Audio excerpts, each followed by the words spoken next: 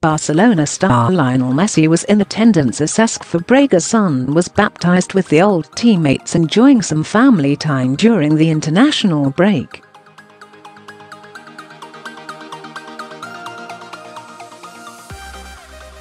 Fabregas' son, one-year-old Leonardo, was baptized, while the Monaco midfielder's daughters Lia, 5, and Capri, 3, were also present.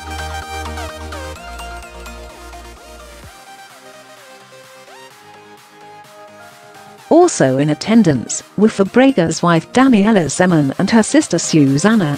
Messi attended with his two eldest sons Thiago, 6, and Mateo, 3,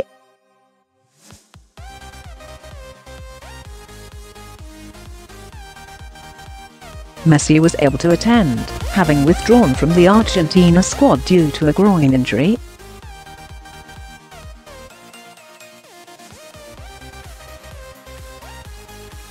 The 31-year-old suffered the problem as Argentina were beaten 3-1 by Venezuela in a friendly on Friday.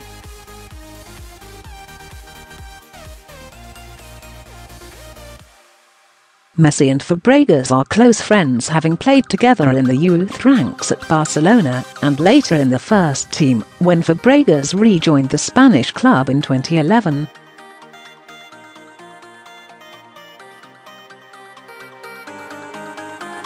Messi has enjoyed another remarkable season he has scored 39 goals in 37 games for Barcelona across all competitions.